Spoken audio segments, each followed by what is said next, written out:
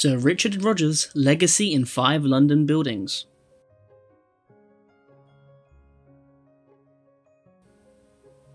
The work of late architect Sir Richard Rogers can be prominently seen on London's skyline. Let's take a look at some of the renowned British architects' most iconic design work in London. Number 1 Lloyd's of London at 1 Lime Street. Lloyd's of London at 1 Lime Street took eight years to build and is known as the Inside Out building due to its exposed lifts and pipework. Number 2 The Cheese Grater.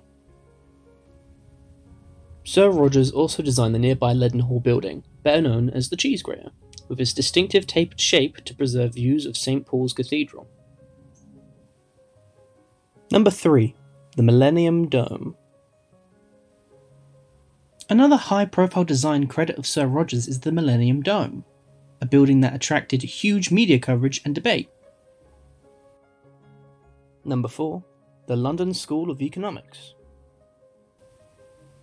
The London School of Economics Centre building called for world class architecture to match the LSE's international academic reputation and included the demolition and redevelopment of three existing buildings on the campus to create a new 10 story building. Number 5. One Hyde Park.